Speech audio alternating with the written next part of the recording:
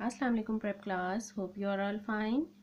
Okay, आज का हमारा क्वेश्चन है राइट द मिसिंग नंबर्स आपने मिसिंग नंबर्स को कैसे कंप्लीट करना है? ठीक है, ये आज हम सीखेंगे। सबसे पहले तो हम ऊपर वन से लेकर नाइन तक काउंटिंग कर ले राइट कर लेते हैं। One two three four five six seven eight nine अब वन से लेकर नाइन तक आपको मिसिंग नंबर्स दिए हुए हैं, ठीक है? तो सबसे पहले देखें डैश है।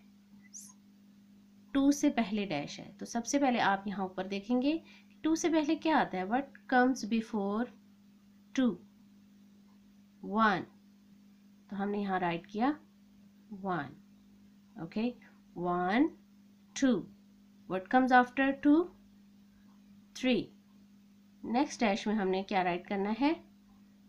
Three what comes after three four हम फिर ऊपर देखेंगे कि फोर के बाद क्या आता है? What comes after four five okay हमने यहाँ फाइव राइट कर देना है. What comes after five six six यहाँ राइट हुआ हुआ है, ठीक है? नेक्स्ट डैश में आप सिक्स के बाद क्या आता है? वो आप राइट करेंगे what comes after six seven seven good what comes after seven eight next dash में आप क्या राइट करेंगे? What comes after eight nine nine write कर दिया आप.